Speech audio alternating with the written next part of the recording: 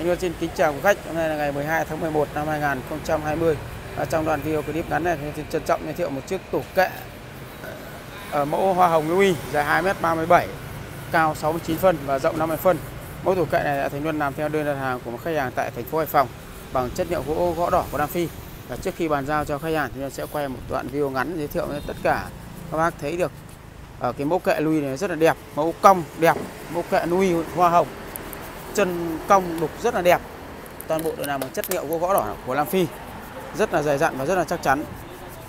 Toàn bộ cái phần uh, mặt tiền này và mặt ngang này thì luôn là vén cong. Vén cong rất là đẹp.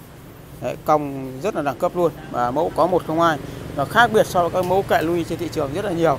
Mẫu của Thành luôn nó cong và led nó rất là đẹp. Tất cả phần cánh là dày 2 phân và ván mặt là dày 1 phân 2 và khuôn tranh dày 4 phân đục chạm hết là sức là tinh xảo mẫu kệ lui hoa hồng gỗ gõ đỏ của Nam Phi. Và ngoài chất liệu gỗ gõ đỏ ra thì luôn còn làm bằng gỗ mun gỗ hương đá Nam Phi và gỗ gụ rất là nhiều mẫu khác nhau để để chọn mẫu rất là đẹp.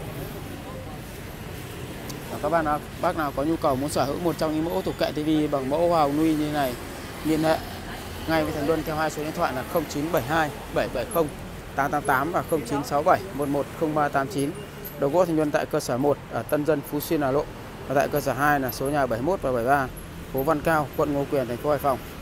Và sau Thành Luân sẽ bàn giao cho khách hàng luôn chiếc ờ, thủ kệ TV này. Rất là đẹp. Ờ, độ cong nó rất đẹp. Nó có hai ngăn kéo ở giữa và ở hai bên là hai cánh đây ngăn kéo ấy. rất là trơn tru luôn. Rồi, rồi Thành Luân xin ờ, kết thúc tại đây. Xin chào và hẹn gặp lại quý vị trong những đoạn video clip sau.